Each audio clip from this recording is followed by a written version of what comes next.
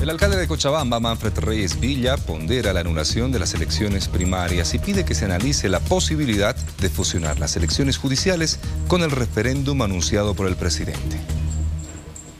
He estado de acuerdo en, suspender las, estas elecciones primarias, pero ojalá que podamos incluir en la próxima constitución que existan en el país elecciones primarias abiertas para que sea democrático y no las cerradas que es en los partidos políticos que tiene que haber obviamente, pero ese es un tema interno de estatutos de cada uno de los partidos, pero elecciones abiertas significa ya una primera impresión del pueblo boliviano hacia dónde apunta eh, a qué persona quiere elegir.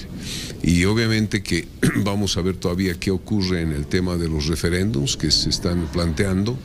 Eh, de todas maneras, las elecciones judiciales han sido ya para el primero de diciembre, eh, digamos, señaladas. Ahora lo que queremos ver es cuándo va a salir el calendario electoral nacional, que eso es lo importante. Si van a ser las elecciones el 17 de agosto, como se ha dicho, o cuándo van a ser, eso es muy importante para que la ciudadanía eh, sepa. Bueno, se pueden juntar, usted sabe que no se pueden hacer dos separados, tendrían que juntarlos para poder hacerlos.